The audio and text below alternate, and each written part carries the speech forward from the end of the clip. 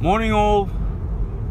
We've uh, been given some uh, ease in restrictions from our Premier, Daniel Andrews. And uh, I know some of you can't understand him sometimes. So I've done some translation for you. I'm going to play his clip, then the translation. Check this out.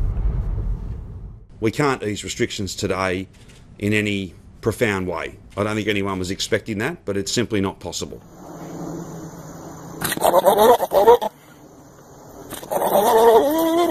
And in fact, uh, we are in for a difficult time, a challenging time, over these coming weeks.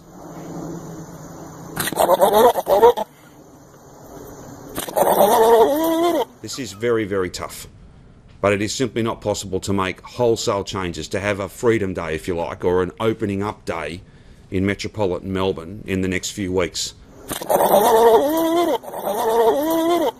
Look, with all seriousness, I, I know we've got to do things with this bloody virus, but uh, everyone's tired. Everyone's super tired of this uh, stuff, and hopefully next year we're going to open up.